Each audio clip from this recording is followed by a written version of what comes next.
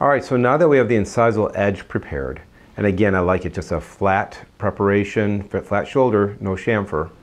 Now we can do our facial depth cuts. Now for an ideal veneer, I want about 3 tenths of a millimeter at the gingival portion of the facial, but closer to a half a millimeter, 0.5 up to 0.6, 0.7 through the mid facial and the incisal facial where there's more enamel thickness. Really the issue is that we want to try and stay in enamel if possible and so that's why we're going to have less preparation down at the cervical third. Now this wheel burr is great though when you look at the from the shank to the edge of the wheel, it's nearly about 0.6 millimeters. So if you drop your burr all the way down into the, uh, into the cervical portion, you may be a little bit over reduced using the cervical burr. So you have to be very careful not to drop it all the way down um, so that the shank is hitting the tooth, otherwise you're going to be a little over, overreduced.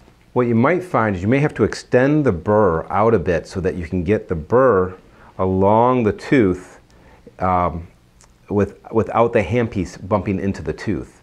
So in my case, I've had to extend the burr, which I often find I have to do in the mouth as well, so that I can get this, uh, this wheel portion onto the cervical portion of the tooth. So with this 828 burr, I'm going to do a series of three depth cuts horizontally along the tooth. The first will be in the cervical third, the second will be in the middle third, and the third will be towards the incisal third. Understand that we've already removed about a millimeter and a half off the incisal edge.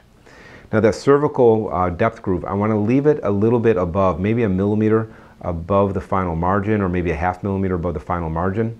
Um, so I'm going to do a horizontal depth groove there first. Again with this burr trying not to drop it fully down deep into the full uh, depth of the, the wheel.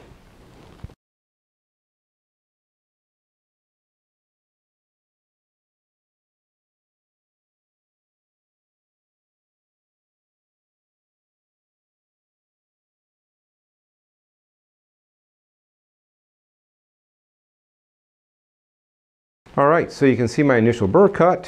You can see there's a little dark area, still some of the Sharpies below showing I hadn't gone all the way down to the gingival margin. That's where I'm going to be doing my final preparation down there. Then I'm going to continue on with two more horizontal preparations. First in the middle third,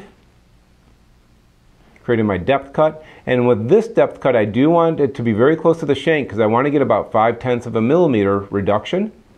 And then I'm going to do the last burr cut along the incisal third, again dropping that down close to the shank so that I get half a millimeter, 0.5 to 0.6 millimeter of preparation to give my technician adequate amount of space for the veneer preparation.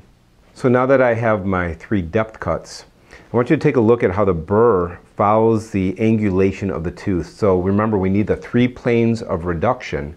And so at the cervical, we're going to have the burr is going to have it's not going to be it's not going to be as deep right? We only want to be about three tenths of a millimeter. And then it's going to be change the angulation as I go through the mid body and then change the angulation again as I go towards the incisal third. So following the three planes of the tooth we're going to be changing the angle of our handpiece as we as we change the horizontal depth cuts